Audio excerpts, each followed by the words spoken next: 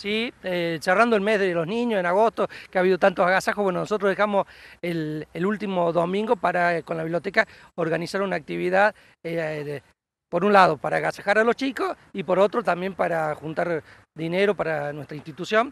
A partir de las 16 horas, el, grupo de teatro de Títeres La Valija, de Beto Melendi, otra vez se, suman para aportar su, su calidad, porque tiene una gran calidad de artista, y ofrecer un espectáculo en la, Casa de Monstruos, eh, y, eh, perdón, sí, y eh, a partir de las 16, la entrada le hemos aumentado un poco, la otra vez salió 50 pesos, ahora 80, porque la otra vez habíamos conseguido que nos subsidiaran el costo de lo que nos cobra Melendi, que es muy poco, eh, así que, pero bueno, todos los espectáculos están infantiles están cobrando entre 150 y 200 pesos, así que 80 pesos. Y además vamos a tener un servicio de buffet con la comisión directiva.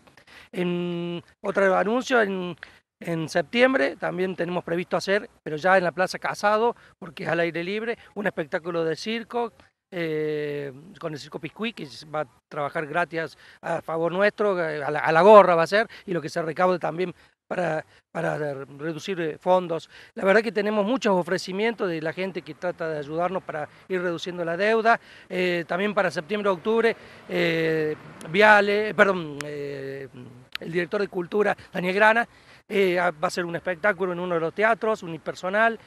todavía no tenemos la fecha definida, pero ya lo hemos hablado. Un unipersonal dedicado a los estudiantes de secundario sobre concientización de educación vial. También vamos a sumar esa actividad. Tenemos el encuentro de escritores ahora en los primeros días de septiembre, eh, que es una actividad cultural, ¿no? Para recaudar fondos, pero bueno, son distintas acciones donde la biblioteca eh, está presente. ¿Cuánto es la deuda actual? ¿Es mucha todavía de la biblioteca, Sergio? ustedes han sido testigos de todos los eventos que estamos organizando en cuatro meses y solamente hemos podido reducir 17 mil pesos la deuda porque si bien vamos pagando, los, hemos pagado eh, meses que debíamos de aportes de AFIP, los nuevos meses, como hubo, aumento de sueldos y de cargas patronales, la diferencia hace que no podamos descontar mucho. Ayer estuve en la legislatura de Córdoba presentando dos pedidos de subsidio. La semana que viene me voy a Buenos Aires, voy a ir a la Comisión Nacional de, Bibliotecas Populares para destrabar el, subsidio grande de 96 mil pesos que nos corresponde este año, a ver si puede salir rápido. Em, la verdad que a veces que no, duermo de la, preocupación que tengo de, eh, si bien para que haya un embargo sobre la biblioteca tiene que acumularse mucha deuda superior a un millón. Eh, no quiero deber, no quiero que, y bueno, por eso el pedido, aprovechar nuevamente la, gentileza de ustedes para pedir a la gente que se asocie, porque esa es la única solución. Más allá de los eventos que organizamos, que la gente se asocie, que colabore con nosotros y así tendremos una biblioteca sustentable en tiempo.